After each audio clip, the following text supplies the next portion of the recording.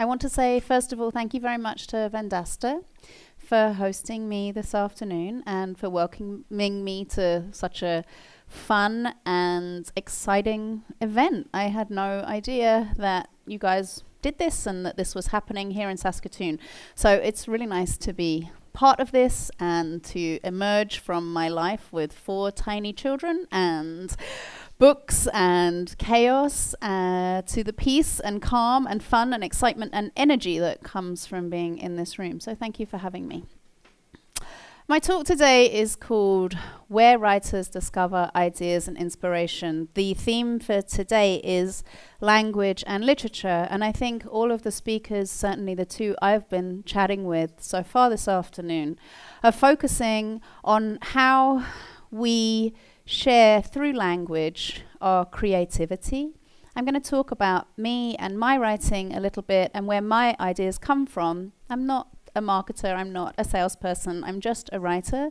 But perhaps for some of you that will be interesting either because you yourself have ambition or ideas about writing for yourself, or perhaps you want to take some of those ideas and think about them in your own creative work, because it seems to me there's a lot of creative people and a lot of creative energy in this room. So I have no idea if any of this is applicable to people who don't write books, but that's what I'm going to talk about. Oh, there we go. So, when you're a writer, the question that you get asked most often is where do ideas come from? My work, I go into schools, I go to talk to grown ups, I go all over the place doing talks about writing, and invariably somebody will feel that they want me to try and pin down that answer. So, Dr. Seuss, who's a children's author I admire, said, I get all my ideas in Switzerland near the Furka Pass. There is a little town called Gletsch, and 2,000 feet ab- above Gletsch, there is a smaller hamlet called Ubergletsch. I go there on the 4th of August every summer to get my cuckoo clock fixed.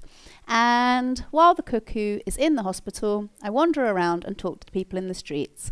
They are very strange people, and I get my ideas from them. I feel like he was teasing this idea that there's any way to pin down a real answer about where inspiration comes from. And yet, my entire creative life and my entire career is built around the fact that ideas do come to me. I have learned to listen when that little voice inside sparks up with something I've learned to make notes through the years, to take even the most silly or frivolous of ideas seriously. A while ago, when I was at a writing festival, one of the other authors, who I have no idea what her name was, talked about exactly where she thought inspiration comes from, and she said it came from two places. Inspiration came from your imagination plus your observation. So the first word there should actually read imagination, but there you go. That's what happens when you're trying to make a presentation and your three year old is trying to sit on your head and saying, Mummy, Mummy, talk to me. Your imagination and your observation. For me, breaking that down means that sometimes when I get stuck, when I'm not feeling creative, when I don't have ideas coming to me, I take a little step back and I have a think about those two sides of it. So, firstly, observation. What does that mean to me? Well, when you're a writer, it means looking out at the world. It means paying attention to the news. It means going to art galleries, looking at other people's work, reading a ton, listening to what other people are saying. Any of you who live here in Saskatoon, and I think that's most of you who are in this room, if you're in a coffee shop and I'm nearby, my headphones don't always have music playing. I'm actually just listening to you and maybe making notes on what you're saying. Not because I'm going to use it in a story, but because I'm just opening myself up to what is going on in the world, what the pulse is of the world outside me. But sometimes that's tiring. There's a lot going on in the world that's sad and difficult and challenging and depressing and not exciting creatively. And so if I start to feel like that, then I switch off the outside world and I look in. And I don't know if this will be helpful to any of you, but I understand we come from a culture where busyness is valued extremely highly. And I don't at all value being over busy. So I actively make time every day to take a little time to do nothing. I used to smoke heavily, so every day I would have like 25 minute breaks in a day. And then I stopped smoking, and suddenly I didn't have those 25 minute breaks, and I'm just standing around doing nothing but smoking. And in all seriousness, that is a great benefit to my health, I'm sure. But it was a loss to that little bit of time when I wasn't surrounded by other people or other things. Now, believe me, when you have a one year old, a three year old, a five year old, a seven year old, I have two books coming out next year. I'm teaching online uh, at the University of Toronto and in three other places starting up right now. I do talks all the time. It's not that I couldn't answer all the time that I'm busy, but I genuinely think it's important to take a little time to nurture my imagination. It's a muscle, I believe, and I think, like any muscle, it needs a little time to work out. And the way for me to work my imagination out is to do nothing.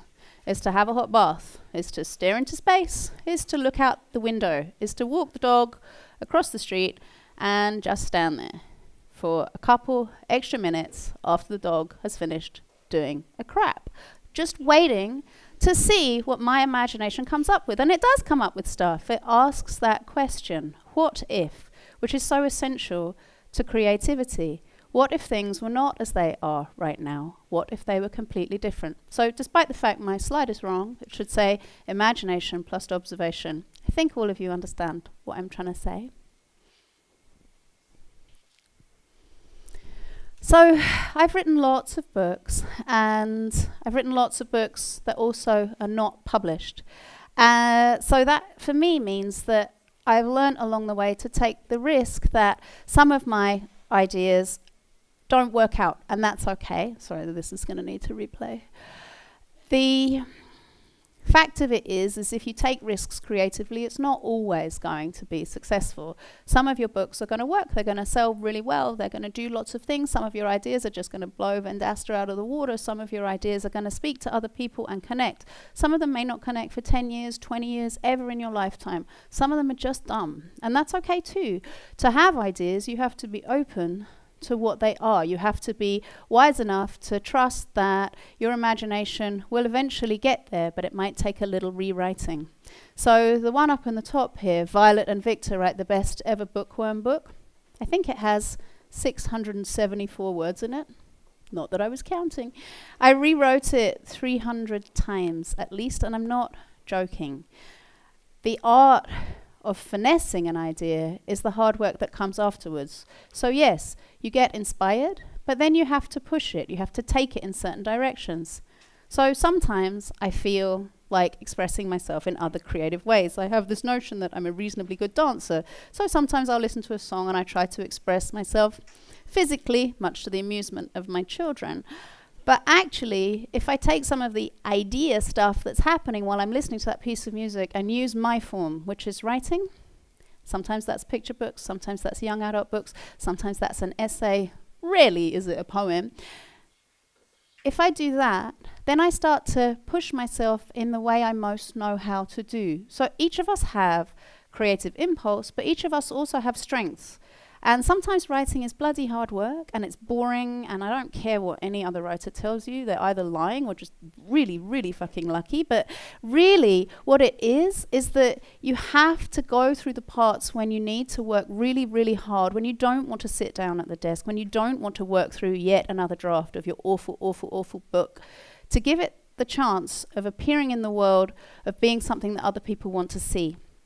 I always tell myself the first draft, when the ideas come, is not the last draft. The last draft is the bit that you get to show the world and other people. And my job is to take those ideas and that inspiration and really push myself to work as hard as I can. I have two new books coming out next year, and both of them have come from ideas that I had a long time ago. The idea for Me and Me, which is my next YA novel, came from a book idea I was working on when I was 18. It just took me 20 years, just about, to understand technically how to make that idea real. And it may be when you work in the tech industry that sometimes there isn't the possibilities yet for you to fulfill what your idea is. I didn't have the skill as a writer to do the things I needed to do with me and me. Polly Diamond, which is my first chapter book, which will be for my daughter, who's just about the right age for it now. She's just about five now. She was a baby when I wrote the first draft. I was pregnant with her when I had the first idea. So even though I'm talking about where ideas come from, there has to be a realistic consideration of what happens when those ideas come to fruition. And not all of them do. For every book I've written, I have a strange habit of writing a second book that never goes anywhere. That just goes in a file in my desk for my eyes only, and I never know which one it's going to be, which is a little heartbreaking. But that's just how I work creatively. You said this clock would tell me where time was, but I don't understand it at all, so I'm just going to keep talking. Three tips to find your inspiration. So these are the things I do as a writer, and these are specific to writers. So take what you will from them if you're not a writer yourself. Read like crazy. Read, read, read. The world is full of ideas. It's full of smart people. It's full of people telling you how they see the world. Open yourself up to those ideas, whether you like them or not, whether they write badly or well. Read everything you can. Don't flatten your ideas. Trust, stay open. Edit your ideas later. Sure, there is the stage where you need to work really hard. Certainly, that's been my experience. But there is also the stage where you have to nurture your idea like it's a little tiny flame and you have to let it have time to set the world on fire. And make time to do nothing. It's actually the most important thing I do in my day, despite all the other stuff I have going on. I wrote my first novel because I wanted to read it. Your ideas need to go to you first of all. If you're trying to fulfill somebody else's expectations, your idea doesn't really have a hope. Ideas are precious and small to start with, and they need a little space where they can open up before you start thinking about how other people are going to see them. It's quite scary taking your ideas, particularly if you're a writer, but probably in whatever it is all of you guys do too. And taking those outside too soon, too fast, too early is a surefire way to take any possibility of a good idea and killing it. If opportunity doesn't knock, build a door. It may be that the world doesn't know it needs another book by me. Well, it maybe doesn't need it yet, but later, when a teenager writes to me and says, I hadn't read anything until I read Life on the Refrigerator Door, and turning those pages really made me want to start reading again, or really made me want to connect with my mother, or I love Violet and Victor so much, I want to write my own books now. I didn't know those people needed that story at that time in their life. That's not really my business. My job is just to build the door and to do my best with it. You can make anything by writing. And what that means to me is that you can open the world and make it new if you trust the stories and the creativity inside of you. I try to do that. I try to do that with the games I play with my kids. I try to do that when I'm desperately trying to figure out what to make for supper in like half an hour when I have four screaming children who are starving and ready to eat. I try to pull from that creative source that's inside me to tell the stories I need to tell, to stay calm in a choppy, busy, crazy world, and really believe that the things I have to say, maybe the things that I need to say, are worth saying, whether for other people or whether just for me, is at the idea stage completely irrelevant. So I have lots of writing prompts for any of you who are interested in taking your writing a little further. I have them on Instagram. I have a website, alicekuipers.com. I'm easy to find online. I have a newsletter that has writing tips and prompts and ideas about writing, ideas about books I've loved. If any of you are feeling inspired to start reading a little more fiction, not necessarily by me, I give lots of ideas about books and writing and the world that I live in thank you so much for having me. I think I'm pretty much at my 15 minute window.